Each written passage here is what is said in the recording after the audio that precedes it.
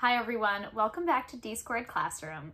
So far we've spent a lot of time talking about the heart, which is obviously an important organ, but so are the kidneys. I say kidneys plural because you have two of them.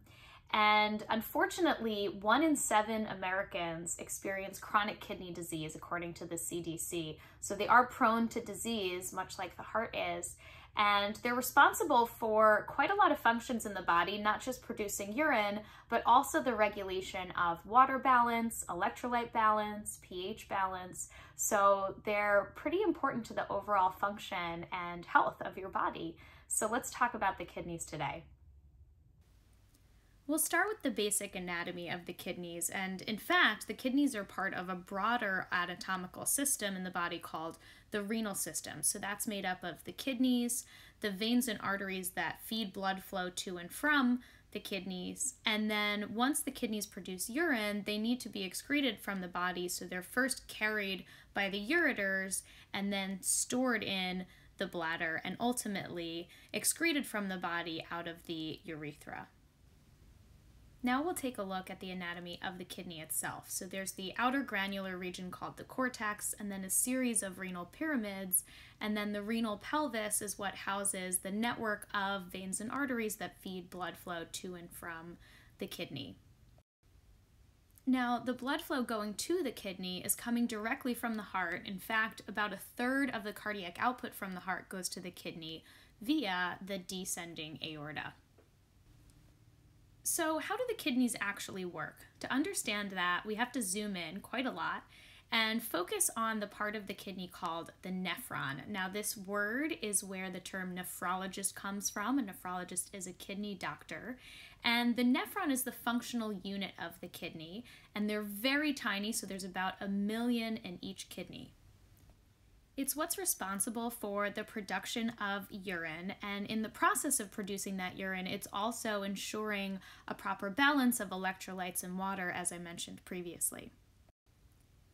So this is what the nephron looks like, and we'll start on the very left with the glomerulus, which is this network of vessels that serves as a filter. So this is the section of the nephron that blood is initially going to enter, and that filter is going to filter out the major toxins from the blood.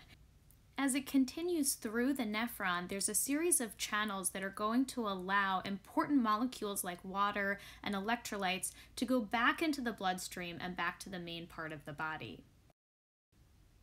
So the fluid that you end up with has been stripped of the important things but contains the toxins, and that's when you form the actual urine, which is going to be secreted from the nephron, then ultimately to the ureters, to the bladder, and out of the body through the urethra. Now, there are terms for each of the functions that the nephron is responsible for. So, first is filtration of the blood, second is reabsorption of the important molecules like water and electrolytes back to the rest of the body, and then secretion, as we talked about. So, that's actually getting rid of the urine. So that covers the basics of renal function or kidney function. And there are a number of things that can go wrong. If you don't get enough blood flow to the kidney, it's going to have a hard time functioning. If there's a lot of fluid pressing against the kidney, it's going to have a hard time functioning.